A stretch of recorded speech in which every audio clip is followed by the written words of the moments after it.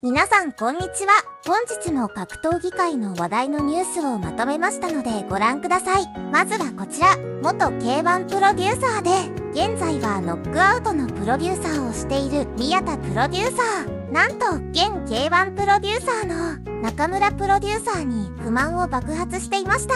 昨日新宿フェイスで行われたノックアウトでは K1 グループとの対抗戦2試合組まれていました。結果はノックアウト側の2戦2勝。今回 K1 側から乗り込んだのは負け越している選手たちだった。そして会場には中村プロデューサーの姿はなかった。そのことから宮田プロデューサーは一つ思うんですけどマッチメーカーの藤前さんは今日来てくれたんですけどはっきり言って選手は体を張っているのだからプロデューサーとして中村さんが来るべきだと思うんですね。どんな用事があるのか分かりませんが軽く見ているのか新宿フェイスだからなのか僕が言うのも何ですけどそんなんだから対抗戦で勝てないんじゃないかと思いますね。と不満を爆発させました。宮田プロデューサーは Twitter にて。あん試合後のコメントブースでちょっと感じていたことを喋りました。各メディアさん記事にしてくれるかな。結果もし揉めたらそん時はそん時だ。と投稿しておりました。中村プロデューサーからの反応は特になし。宮田プロデューサーと中村プロデューサー。そしてノックアウトと K1 今後どうなってしまうのでしょうか。お次がこちら。元ワン世界ライト級王者で大臣にも出場経験のある僕光鉄さん。実は ABEMA の企画。朝倉未来に勝ったら1000万円の企画に出ようとしていたことを告白。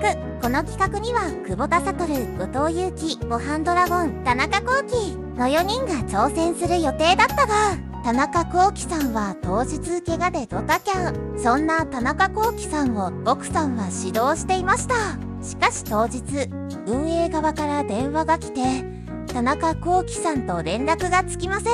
一応現地に来てくださいと言われたそうです。その瞬間来た。やっとこの時が来た。とマウスピースとファウルカップをバッグに入れて現地へ向かったとのこと。この時ボさんはすでに引退してましたが以前に朝倉未来選手へ宣戦布告していた時がありしかし試合が流れてしまったのでやっと自分の番が来たと思ったのだと思います。練習はしてなかったけどイメトレはしていた。行き道のバスでは緊張していてなんなら遺書書こうと思ってメモに書いてあった。と奥さんはやる気満々だったみたいですがプロデューサーに。やらせてください。とお願いすると奥さん勘弁してください。とお断りされたとのことでした。絶対ぶっ飛ばしてやる。って気持ちだったが残念ながら叶わなかったそうです。ちなみにブレイキングダウンはオファーがあったら絶対に出るとのことでした。ジョビンさんのチャンネルで色々とお話しされていたので概要欄に貼っておくのでぜひ見に行ってみてください。そしてお次はこちら。ワン代表チャトリがタケルとロッタンとの試合について言及しておりました。ファンから寄せられたタケルに対するロッタンの発言についてどう思いますか？という質問がありました。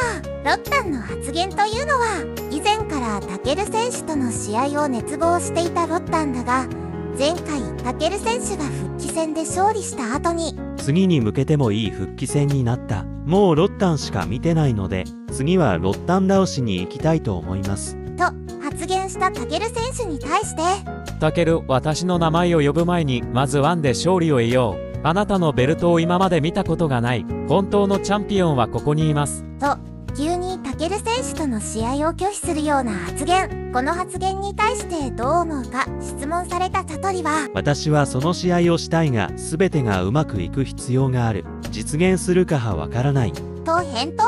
あの時の会見の熱は何だったのか。と思うほど軽い発言のように聞こえます。果たしてタケル対ロッタンは本当に実現するのでしょうかそしてタケル選手のワンデビュー戦の相手は一体誰になるのでしょうか？次はこちら。本日更新された斉藤選手の YouTube スーパーライジンについて語っておりました。朝倉海対アーツレッタに関しては。現状では日本人最後の砦みたいな感じになるのかな？アーチュレッタを KO するようなことがあればマジでベラトールに殴り込みに行けるんじゃないですか？そういう絵は見てみたいですけどね。朝倉未来対ケラモフがタイトルマッチになったことについては。がぜ楽しみになりました。朝倉兄弟でタイトルをダブルでやるっていうのはなかなか誰も予想してなかった展開だと思うしまさにスーパーライジン。ただマッチアップ的には甲斐選手もミクル選手も両者負ける可能性もあるかなと思うのでそのくらい相手が強豪なので緊張感があっていいマッチアップだと思う。と決してベルトを取らせるための試合ではない厳しいタイトルマッチだと述べていました。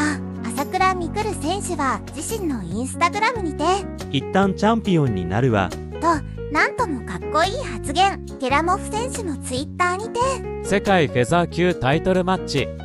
やる気を見せていました他にも注目カードについてたくさん語っていたのでぜひ斉藤選手の YouTube 見に行ってみてください。概要欄に貼っておきますね。そして本日の朝倉未来選手の公開練習前に行われたスペシャルトークショーにてゲストで出演していた深田栄美さん。Twitter にて朝倉未来選手とのツーショットを載せて。朝倉未来選手寝技で対戦してもいいですか？と投稿しておりましたこれには平本蓮選手が。この男はタップしませんよ。と嬉しそうに反応しておりました。本日からスーパーライジンの公式グッズの先行販売がスタートしました。本当に全部かっこよくてどれを購入するか迷ってしまいますね。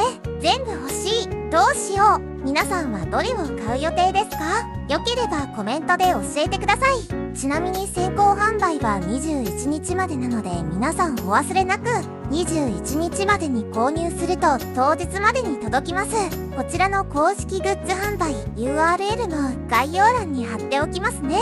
私埼玉県行くの初めてですごく楽しみなのですが埼玉スーパーアリーナ付近でおすすめのご飯屋さんやお店などはありますか？